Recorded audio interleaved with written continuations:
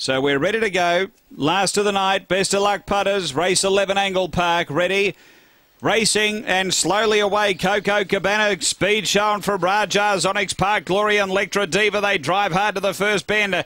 Lectra Diva had the speed to go through and lead. Park Glory a length away. Uh, three away next is Dinah Wendy around Josie Bale. Three away, Rajas, Onyx. Then came Miss Everdeen, uh, Miss Fergie Ferg and Coco Cabana. Up to the bend, Lectra Diva led narrowly. Park Glory the inside, diving through. Then Josie Bale. Park Glory took the lead, got clear, and Park Glory Glory beats Josie Bale, Electra Diva and Dinah Wendy. Uh, then Coco Cabana from Miss Everdeen, Miss Fergie Ferg and Rajas Onyx. The time is 30 and 33.